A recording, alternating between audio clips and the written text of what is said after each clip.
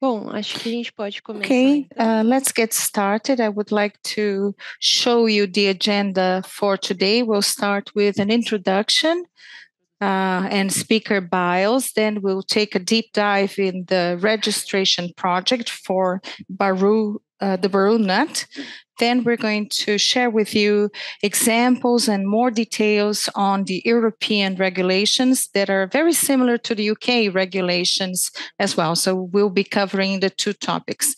And then we'll have the Q&A in which we'll address your questions. The questions you submit via the chat.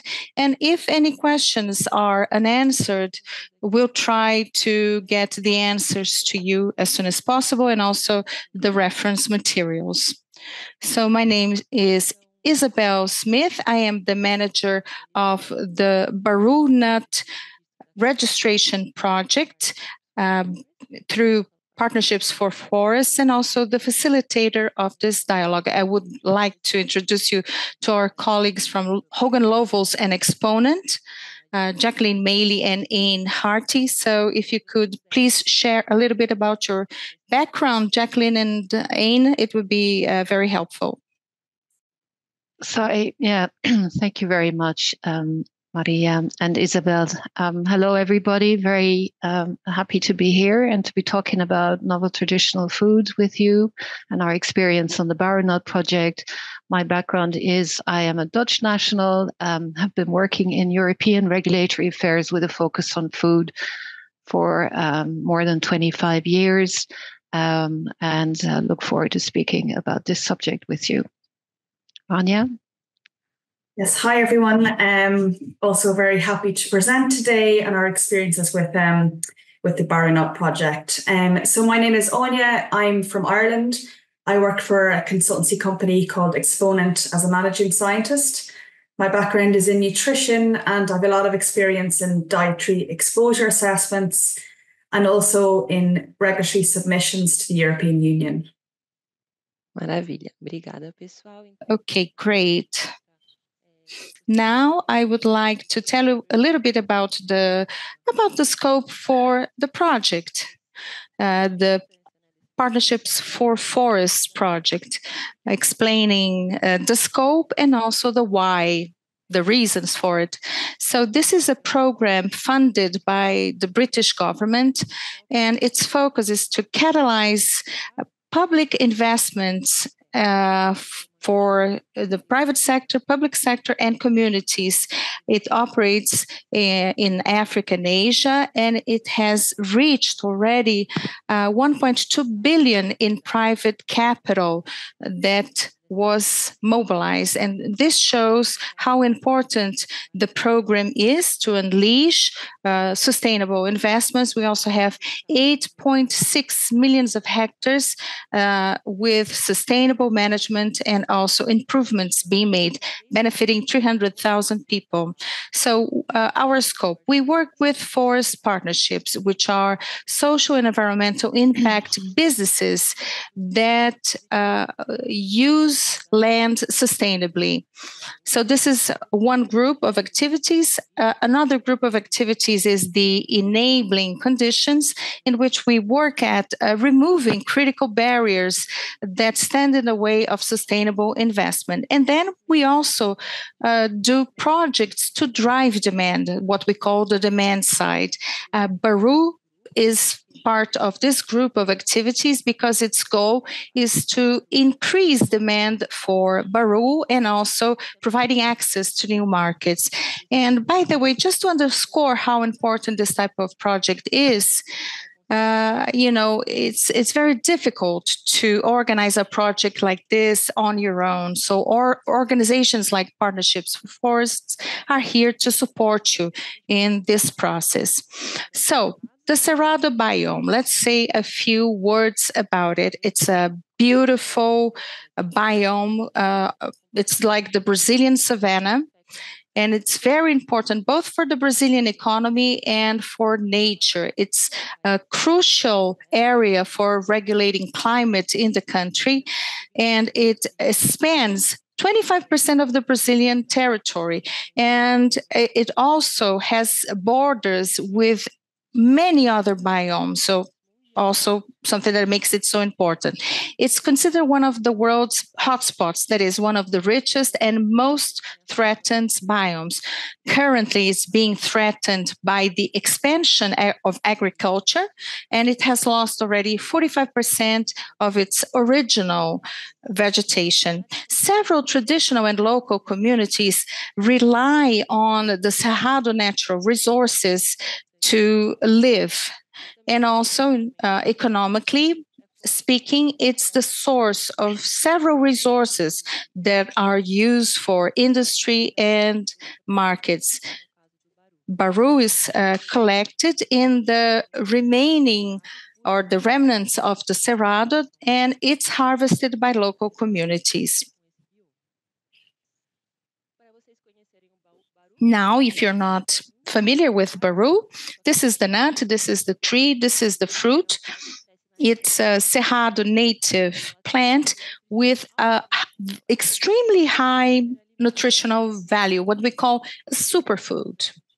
So of course, it's something that promotes good health, and the the nut is what we use, and you can uh, eat it raw, roasted, or processed, such as meal, cookies, hummus, oils, several, several possibilities.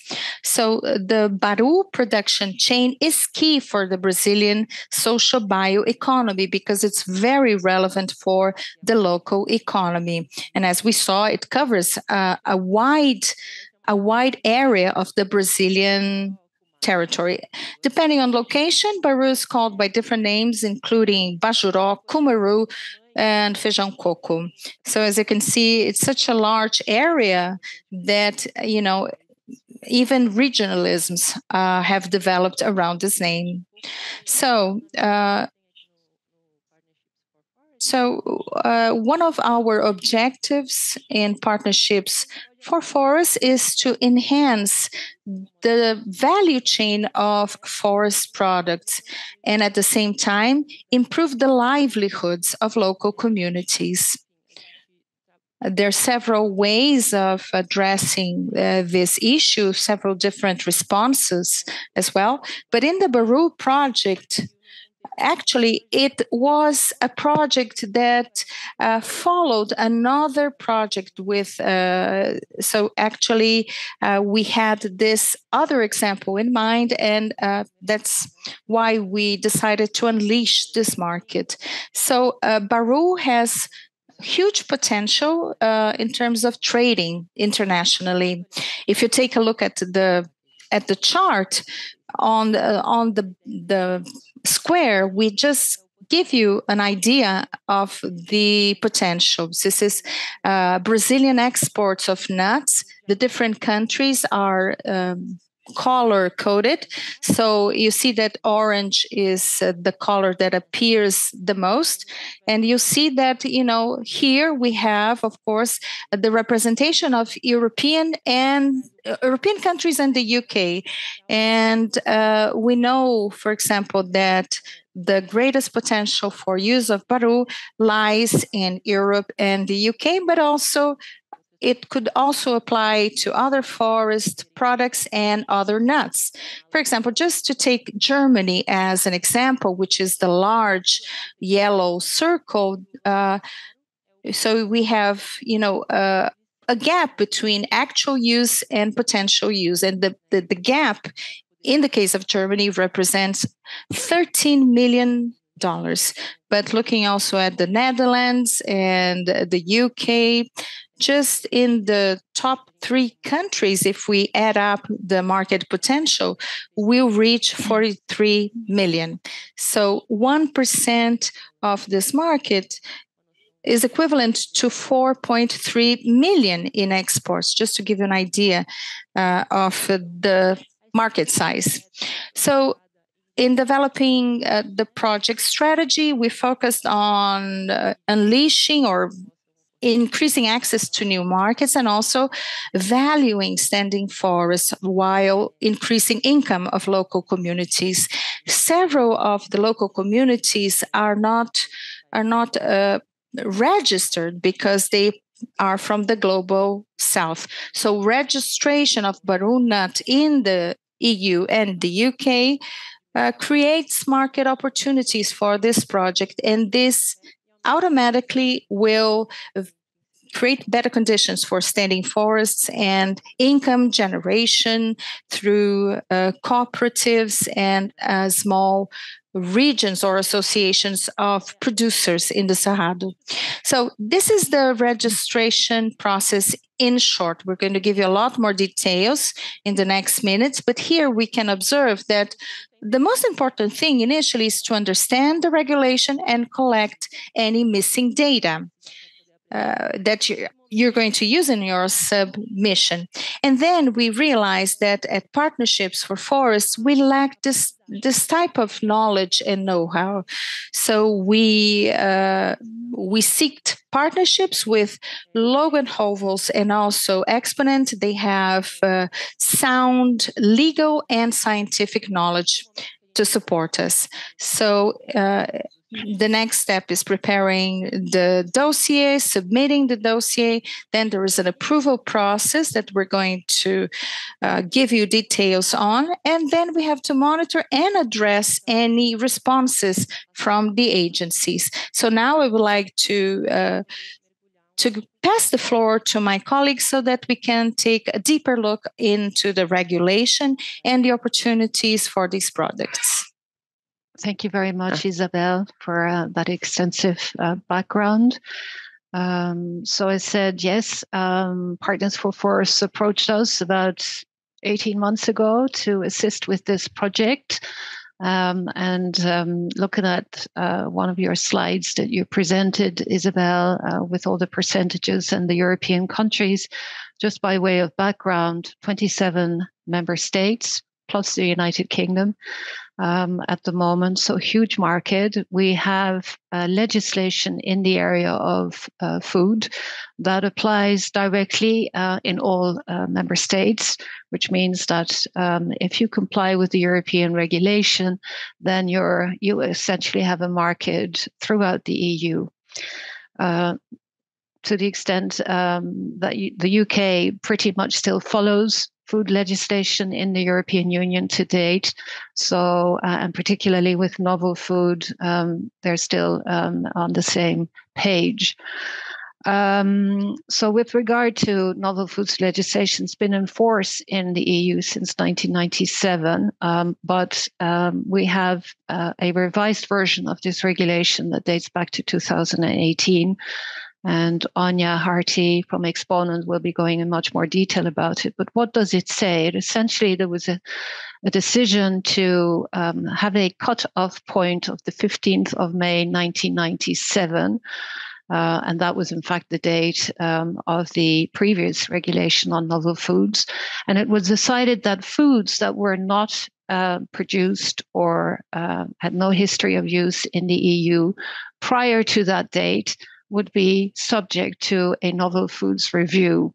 And these would be foods originating from plants, animals, uh, you know, minerals, microorganisms, but also foods resulting from production processes that had not been used prior to the 15th of May 1997. The um, original regulation in 1997 did not really look into great detail into foods that had a very long history of use outside of the European Union. And this was uh, addressed in the revised regulation of 2018 that uh, Anya will be having a look at. When we were engaged uh, about 18 months ago, we looked at it very much from a okay, what is the EU regulatory framework that applies? And in doing these types of dossiers for clients and organizations that we work with. We work very closely together with Exponent um, and our contacts there. And Anya Hearty is a colleague that we've known for a very, very long time. And the two of us have been working on this dossier the past 18 months.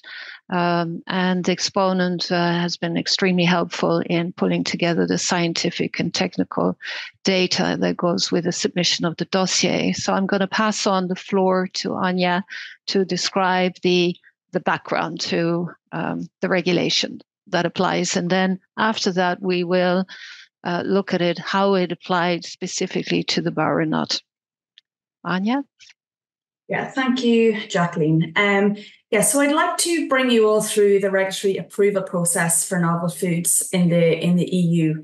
Um, as Jacqueline said, there's a parallel submission process for the UK, um, which does require a separate submission. However, the, the data package and the, the types of information that you need to provide are, are basically the same. So for now, I'll just focus on the, the submission process for the EU. Um, so as Jacqueline um, mentioned, there was a revised regulation on novel foods in, in 2015. And this regulation on novel foods controls um, controls how not um, all, all the not regulation regarding novel foods and traditional novel foods in, in the EU. So this regulation sets out the centralized authorization process, which is done um, by an electronic submission process to the European Commission, who then in turn will pass on an application for the risk assessment process to the European Food Safety Authority, who are also known as EFSA.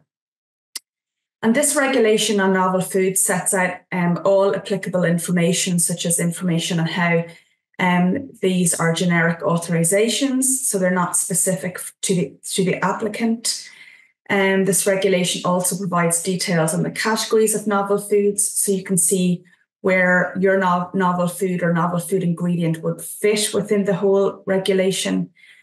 And it also provides background on the union list of authorised novel foods, which was new to this regulation, and which I'll also provide a bit more detail and explain what it looks like um, further on in this presentation.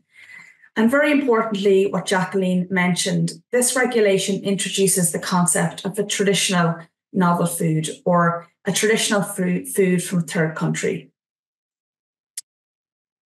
Um, so next slide, please. Yeah. Um, okay, so what is a traditional novel food? So a traditional novel food is a food that has um, a, has not been consumed in the in the EU prior to, to May 1997 but which has a history of use in a third country. And what I mean by a third country is a country outside the European Union. And this history of use must be for at least 25 years.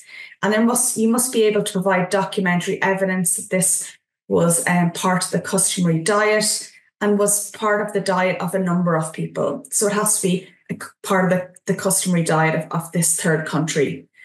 Um, it also importantly must be derived from primary production. That's an important aspect of a traditional novel food. And it does not include any, so that the data that you provide on this evidence of, of history of intake, this can't um, be linked to non food use. So it has to be evidence of food use in this third country. Just the next slide, please. Yeah. Um, so the approval process, so the actual process of building up your data package and submitting it um, into the EU is, is quite similar to a regular novel food, although it's known as a simplified process. And instead of calling an, applic- an application, it's referred to generally as a notification. So it's a simple notification to the European Commission for regulatory authorization of the traditional novel food. Similarly to, to a regular novel food, um, you do need to develop a dossier. So this is will still um, um, entail quite detailed data package that you need to provide to the European Commission. Um, as part of this data package, I'll, I'll give you a little bit more information later on, but it, you do very importantly need to um, provide this evidence of the history of consumption. So that is something that the regulatory authorities will, will really look at and there are other data that are required, such as on the composition of the food. So, what is the food? You need to be able to define what it is and how it is produced. And to help applicants, there are um, the European Food Safety Authority have developed a detailed guidance on what is required in this data package. And it outlines the administrative details and the technical and scientific details. So if you are considering a, an developing a data package for a traditional novel food, I would really recommend that you um, that you would look to this this guidance. As I mentioned, uh, notifications for traditional novel foods are done through an electronic submission process. Again, the European Commission have developed detailed guidance on, on how to set yourself up as an applicant and how to, and how to submit the submit the, the data package. Um, and we'll just go to the next slide, please.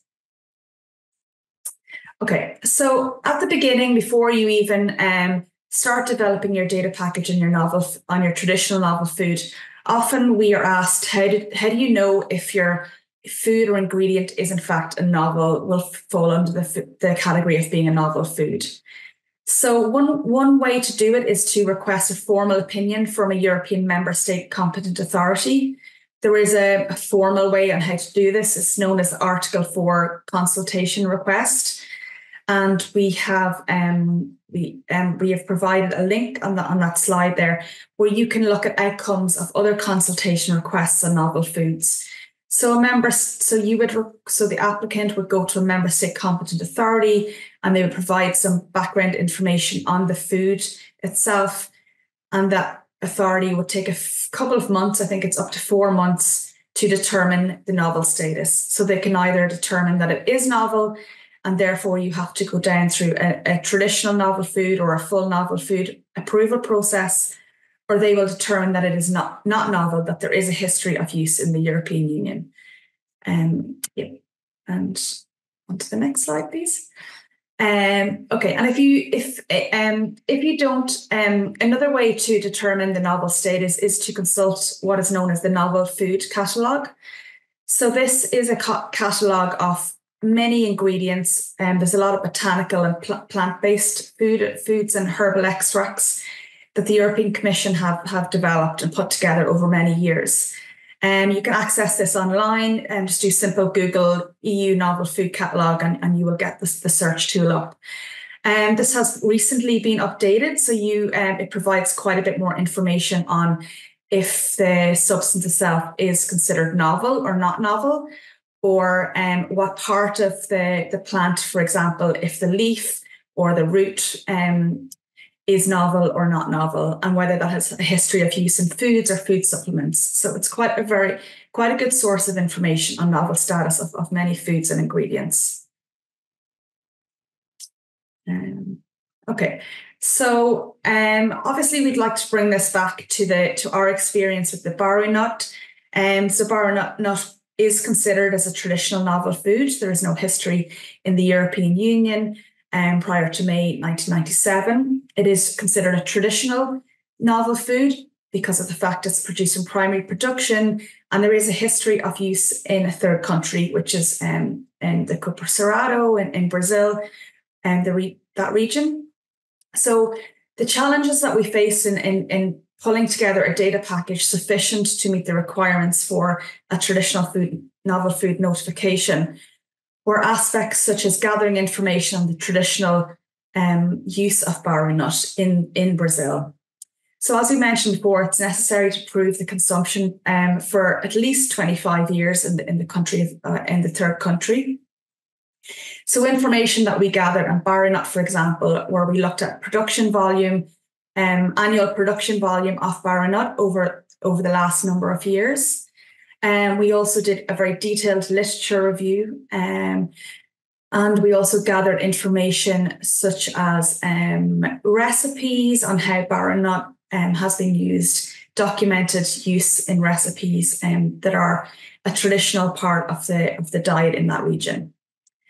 Um, also, another challenge is, is to identify and to and to work with laboratories that can do the analysis for you that is necessary to determine the compositional um, and um, analysis of the, the novel food. So, for example, um, you need to work with a laboratory that can do nutritional analysis, microbiological analysis, and other analysis such as pesticides, dioxins, aflatoxins, for example. Um, it's important that laboratory has validated methods or accredit or is accredited for that type of analysis. These are the things that the regulatory authority, so that EFSA and the European Commission will look for. Um, another um, challenge or consideration that you need to think about are stability testing. So, showing that the traditional novel food is stable under normal conditions of storage when placed on the market in the EU is required.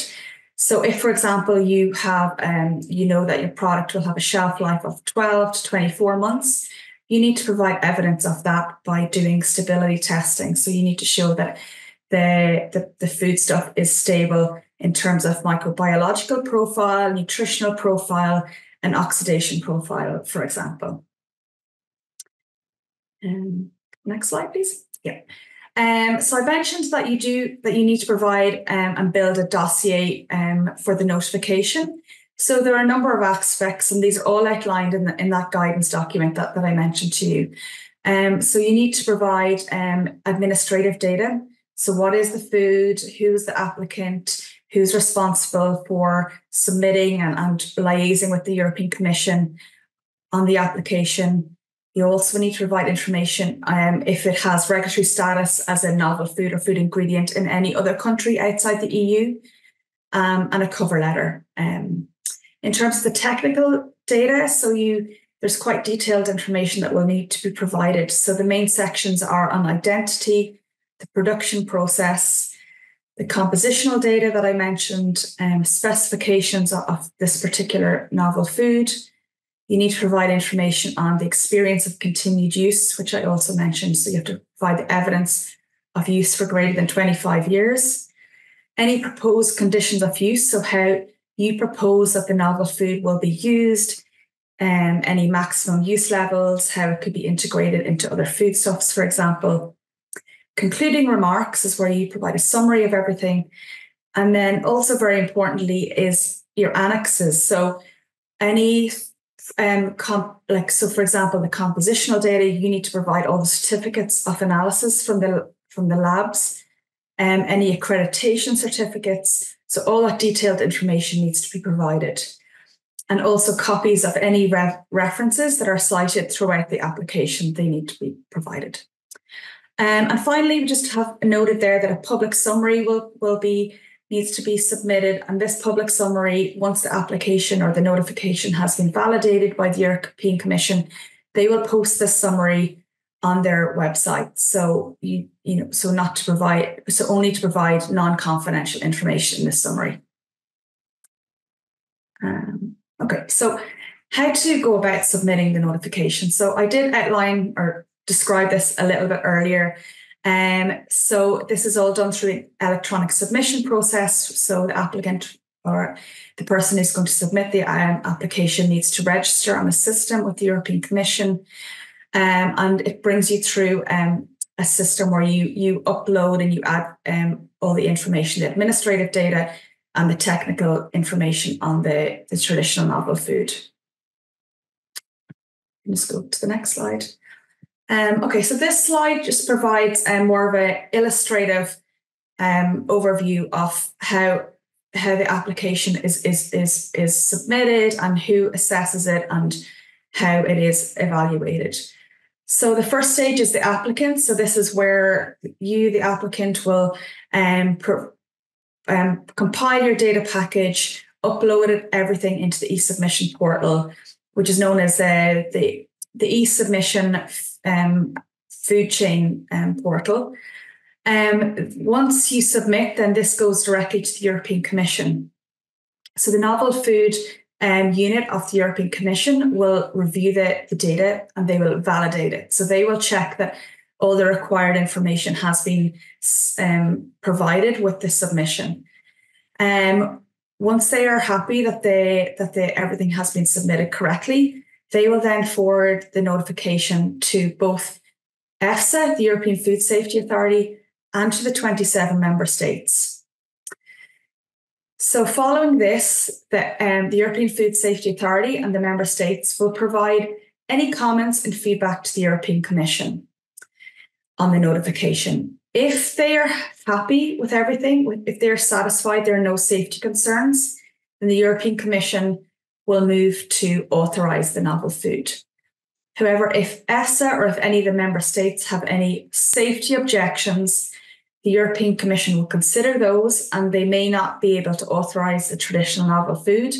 And at that stage, the applicant can will have to um, decide to move forward with a full novel food approval, or else they can they cannot move forward with, with, with the traditional novel food application. Um, I just want to say that the timelines that we have put there, these are indicative. So in general, the European Commission will take up to one month to forward the, the notification once um, to do the validity check and forward the notification. However, if they have questions, so if there are certain pieces of information that have not been provided as part of the notification, then they will request that the applicant, um, they will go back to the applicant and request they provide those, and they will um, stop the clock as such. So they will they will take more time than this one month. Um, and similarly, when EFSA and the member states are reviewing or doing the risk assessment, they may also require additional information to perform this assessment, and they will go back to the applicant through the European Commission to request this information. And again, the clock will be stopped while the applicant gathers that information and submits it um, back to through the e-submission portal. So this um, yeah, so these time periods are really just indicative and, and generally our experience is this will take a lot longer than, than what we have there. Um, so just the next slide. So once um, once the European Commission is satisfied there are no safety objections, they will move to authorize the novel food. So this is when they they draw up what is known as an implementing regulation. So when they they so this implementing regulation will be specific for this novel food or traditional novel food. And this will move to formally update the what is known as the Union List of Novel Foods. So the Union List is a list of all novel foods that have been approved and authorised in the European Union. And the Union List sets out the approval and conditions and, la- and any labelling requirements for that novel food. And it will also outline uh, the specifications for placing that novel food on the market in the EU. Um, so let's go to the next slide, please. Um, okay, I think actually I summarize this. So this is just what the union list is. So this is also a very useful resource to, to have a look at, at what other novel foods look like, what their conditions of use are, any labeling requirements, and as I said, the specifications. So a novel food can only be placed in the market in the year in the EU if it fulfills both conditions of use and the specifications for that novel food. Um, so the next slide. So I think, yeah, so this is an example of what the union list looks like. So I decided to take an example of a similar foodstuff to, to Baru nut. So this is an approved traditional novel food, which is dried nuts um, from, from Canary. Um, so this is the table one. So this outlines any conditions for use. So there were no specific conditions of use for Canary nut. However, there are some labeling requirements, um, which outlines how this ingredient is to be label, labeled. And also, um, there is specific labeling regarding um, potential aller- allergy to, to um, canary nuts. So, when placed on the market in any foodstuff, these conditions have to be met. met. And the next slide is um, this is just to show you again what the spec what we mean by specifications for novel food. So for canary nut, it can only be placed on the market if it meets all of these specifications.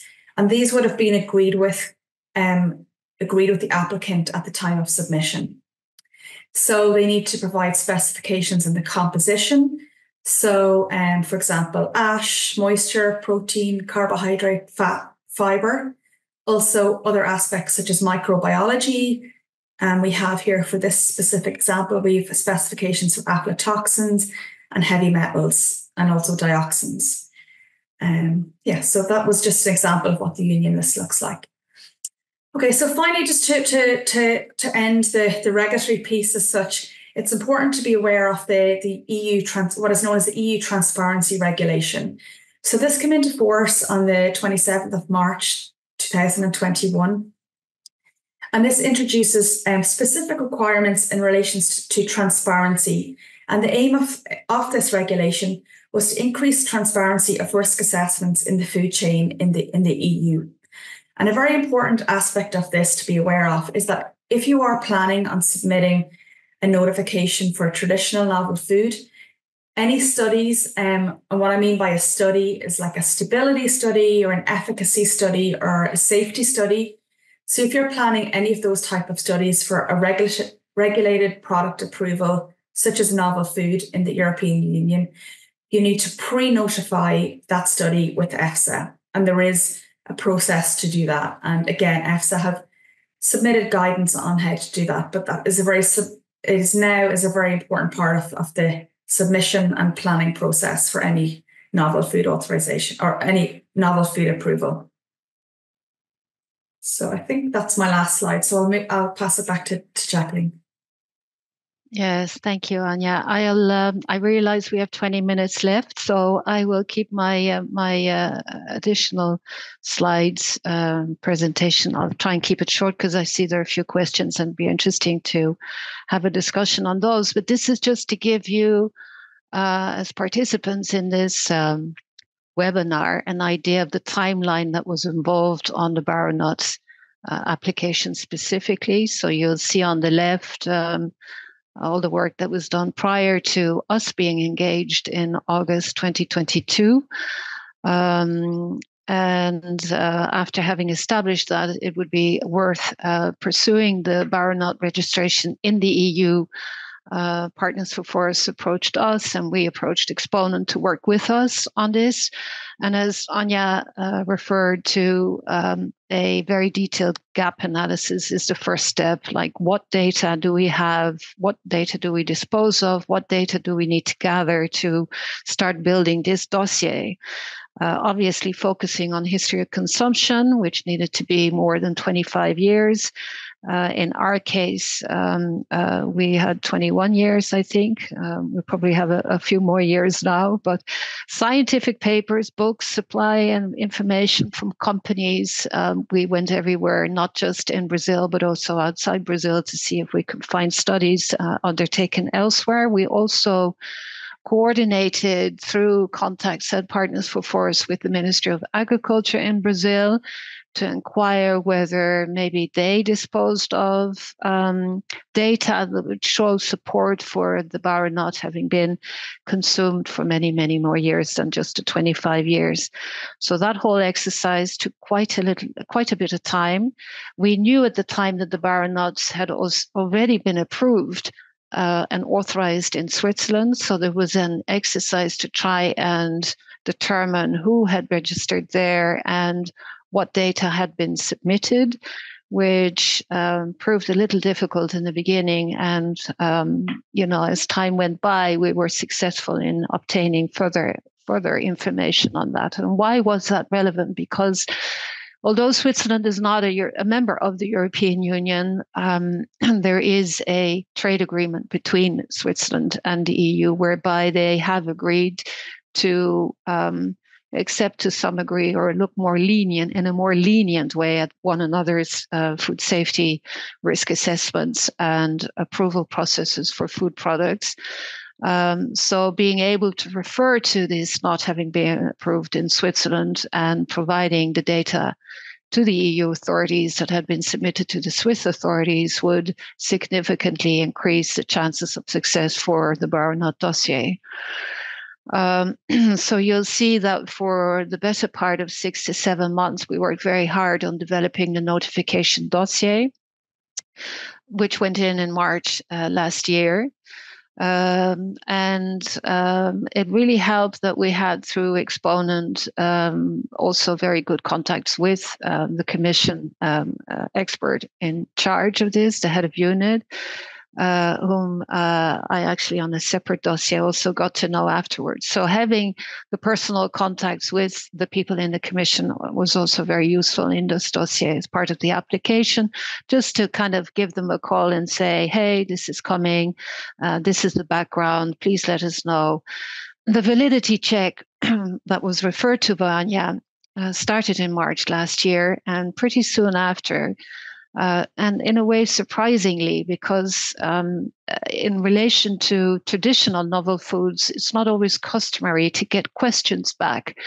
Usually, um, on uh, if you do not meet the validity check, the, the commission, according to the legislation, has every right to pass on to responding to the applicant saying, okay, you did not pass the validity check um, do you want to withdraw or do you want to go for a full novel food application? In our case, the Commission came back with questions um, and uh, it showed um, a willingness to really consider uh, a possibility for Baru nut to come to the European market. They asked additional questions primarily in relation to compositional analysis and shelf life stability data, which um, they um, needed uh, additional evidence on longer than the period that was provided for. Um, in the meantime, uh, so we worked on, on that data. We carried out through uh, engaging a laboratory um, additional analyses on the composition um, and aflatoxins uh, was one of, one of the areas of concern. Um, and uh, we managed to um, also work together with another um, producer who was able to provide data. In fact, it was the producer that had originally um, uh, been involved in in Switzerland. So we were able to to get some really useful data into um, into the dossier. And if we go to the next slide, you'll see that in um, September, I already referred to that, the lab was engaged. Uh, yes, it was very important that prior to engaging the labs, we did a verification of the methodologies used by these labs to carry out these additional tests. Um, we had ongoing engagement with other producers, and uh, we kept very close contact with the Commission and explained that we uh, had understood the additional questions, were working hard on providing the additional information that they required, and informed them that we would report back um, before the end of the year. Uh, which was 2023. And in December, we, we told them the information is forthcoming in January. So we kept in close contact with them in terms of, you know, what to expect and when, and that proved really, really helpful. So um, in January, then we reviewed the additional data that was generated from the additional testing carried out, compositional analysis and shelf life study, and completed with help of Exponent the um, the um, Baru nut dossier and also were able to provide additional information in there to the Swiss data that we had been able to um, to obtain. To obtain. So the dossier has just been submitted last week uh, and this week to both the EU um, authorities as well as the UK FSA we uh, Food Standards Authority agency, I should say, and uh, we have gotten word back from um, the European Union uh, that EFSA suitability check deadline has been set for the 9th of April. Uh, so that's when, all going well, the four month review period by member states and EFSA will start. Uh, and as Anya explained, either they have reasoned objections or they do not. So we hope um, that we um, have passed the test this time. So, best case scenario, uh, the Baru nut uh, is authorized hopefully shortly after the after the summer, um, and um, I think uh, I have already discussed the next slide and pretty much the slide thereafter. So I'd like to go to the last slide, which is tips for successful notification. As mentioned, it really helps to be in close contact with the authorities and to keep them abreast of where things are at. So keep the communication going is, is one advice that we would give you to respond quickly to questions that they have and also to make sure that you have, it's not on here, but it's very important to be able to uh, you know, uh, make sure that you have uh, language capabilities to respond quickly. So put somebody in charge who speaks English. Um, that really helps. Um, it is okay to ask for extensions of deadlines if you can provide good reasoning and argumentation as to why more time is needed. Uh, obviously, the studies need to be done in accordance with validated methods. Um, uh, and all submit all the data that is available. And obviously, you know, engaging external expertise can help um, move things quicker and may save time and money. But as Anya said, even though five months is what is referred to in the legislation, um, as you can see, we started in August 2022. It's now February 2024. By the time it comes through, it's September. It probably probably could have saved time had certain tests been carried out in advance of submitting uh, the dossier. Um, but these are all, you know, it's always easy to to judge on this go, you know, afterwards. But I think um, um, it's looking really good, and I think there's a real willingness on the EU with all the efforts undertaken to um, look in a very positive way at the dossier this time around. So I'll end there, realizing we have 10 minutes left, Isabel. Thank you, Jacqueline. Well, thank you very much. Thank you, Ania. Thank you for your presentation. Thank you all for attending. Uh, so now I would like to ask you to write your question on uh, the chat. We have uh, many, many questions. I don't think we'll be able to answer all of them, but we'll be sending this material to you uh, in Portuguese and in English for everyone who registered. And I, I, I just wish to let you know that we'll be writing uh, case studies, and uh, they'll be available in three languages English, Portuguese, and Spanish. And we'll try to incorporate your questions to the materials, okay? So I think we may start now.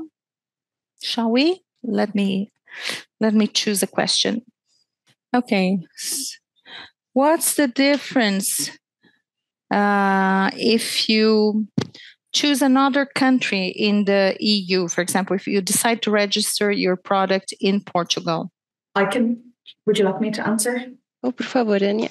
Um, okay. So in um, so with the uh, novel food process, it's a centralized, it's a central authorization process. So all submission applications have to go through the European Commission. So you don't submit to a, a member state. So the first thing is you submit your application to the European Commission through the electronic submission portal. And then the European Commission, once they validate your application, will send it to EFSA and to the individual member state competent authorities. So um, yeah, and once authorized, once um, the traditional food has gone through the whole process and is authorized, then it's authorized for sale to be placed in the market in all EU member states. Hope that addresses that question. Mm-hmm. Yeah, essentially, you have you have a, a, a 27 member state market, right?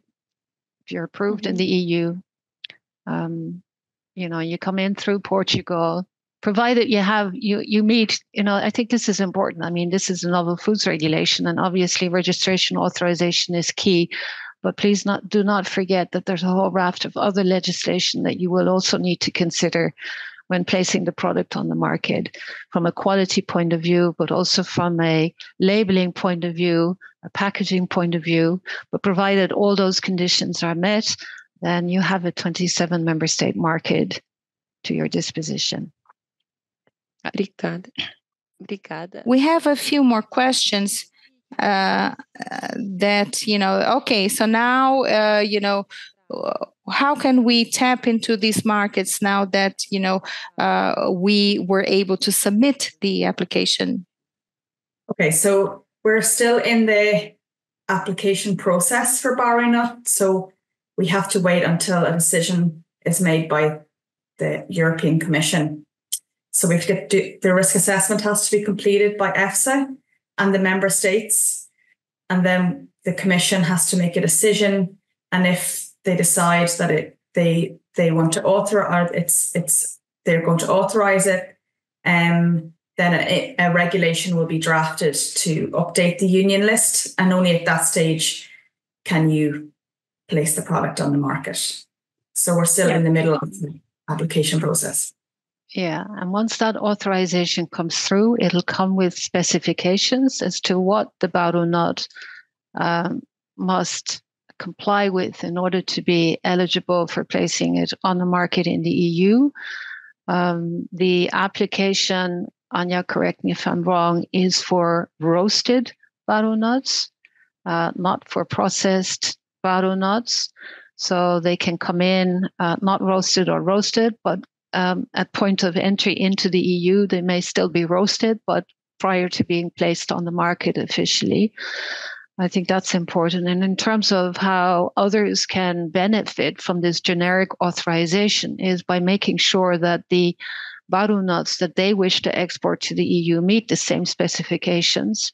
And as I mentioned, uh, provided that you have carried out a full review of the other food law related issues, such as labeling and packaging, that are required for placing it on the market. And I presume that you would then either go directly as an, a trader with the EU or you would engage with a specialist importer or somebody who could pack the product for you upon arrival in the EU. Um, as I think is the case for, um, well, that's the case, for example, in Switzerland. That's how it works. It's somebody there who imports it and packs it and distributes it to retailers. Okay, we have a, another practical question that I'll, you know, I'll begin giving the answer, and please, Jacqueline and Anya, uh, compliment. So I am a small producer in Colombia, in Brazil, and I want to start exporting some products. Uh, you know, a superfood or something that can be used in cosmetic applications. So, uh, how to get started? Because it seems so complicated, such a lengthy product process, uh, and also very expensive and time consuming. So it's not a simple process, but at any rate, uh, you know, I, I, there's this motivation. We want to really tap into those markets and at the same time protect our biodiversity. So, you know, uh, through international projects and also partnerships uh, with organizations like Partnerships for Forests, if you have a good project, you might get support uh, it could be something that uh, you know seems very removed from the realities of small cooperatives or you know going uh, your way alone but if it's a good project you can find support you can find funding uh, either through green finance or uh, an international cooperation uh, project. I think that the the key message here is looking for uh, international partners. But if you can give us also some information, Jacqueline and Ain, about you know the expenses and uh, how to go about this process, it would be great. Thank you. I think. Um, um, am I on mute? No, I'm not on mute. I think. Uh, yes, I think you answered the question uh, to great part, Isabel. Um, I, I would also recommend that you engage with your uh, local uh, local or government authorities, if you like, to see how they can maybe help raise some of these issues in bilateral negotiations with the EU, for example, with uh, to emphasize, uh, you know, the issues uh, that you raise. Uh, and obviously, if you can find, since it's a generic authorization process, right, you have no benefit in, you know, going it alone. Um, you I, I, think in our particular case there was funding which was great that helped uh, the applicant enormously but i think if you uh, can pull together with others uh, who are similarly affected other producers you know then you can share costs in going to the market and and supporting this dossier so that would be i think one of my recommendations Obrigada, Jacqueline. Okay, we have time for one more question. A question here. If it's an ingredient used in another product, for example, we are registering uh, the baru nut. What if I want to export the oil? Is the registration open uh, and applicable to everybody? So I'll answer yes. Once you register uh, uh, the baru nut, everybody can, uh, you know, use this process but if you can give us you know uh, the information about you know processing and when it's industrialized how does it work? Thank you.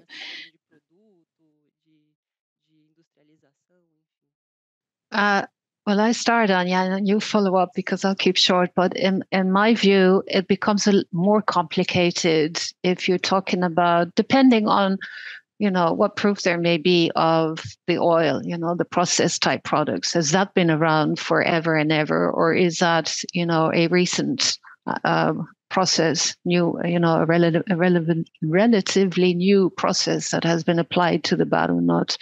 We were looking at the raw baru nut, uh, which obviously has been around and has been consumed for a very, very long time. If you start thinking about or considering other types of processes, we will need to see what the evidence would be to support that it would be traditional in the sense of more than 25 years of use, right? Anya?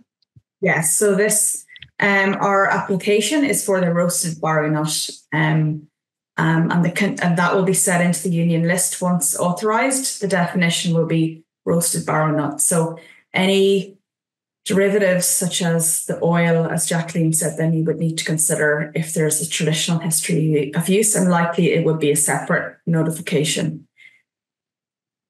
So, yeah, I hope that I explained or answers that question. Muito obrigada. Thank you very much, Jacqueline, Anya, and Maria Eugenia in the translation. Thank you for all of you who participated. I hope that you enjoyed it. And uh, we'll get in touch to you to send you the recording and also answer your questions. And soon we'll see you again. Thank you very much.